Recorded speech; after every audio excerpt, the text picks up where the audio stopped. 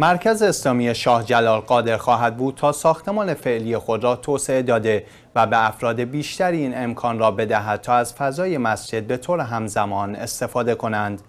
مشاوران کمیته برنامه ریزی شورای شهر کمبریج در روزهای اولیه دسامبر تصمیم گرفتند از این طرح حمایت کنند و این حمایت علیرغم اعلام نگرانی برخی از شهروندان انجام شده است. هدف از توسعه مسجد شاه جلالین است که یک فضای نماز جداگانه برای مردان و زنان ایجاد شود. درخواست کنندگان توسعه مسجد همچنین خواستار افزایش تعداد افرادی شدند که به طور همزمان می توانند از این مرکز استفاده کنند.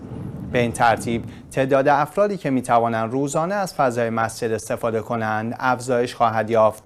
همچنین بر اساس این طرح ساعتهای پذیرایی از نمازگزاران در مسجد شاه جلال کمبریج از این پس افزایش خواهد داشت و درهای مسجد مدت زمان بیشتری باز خواهد بود.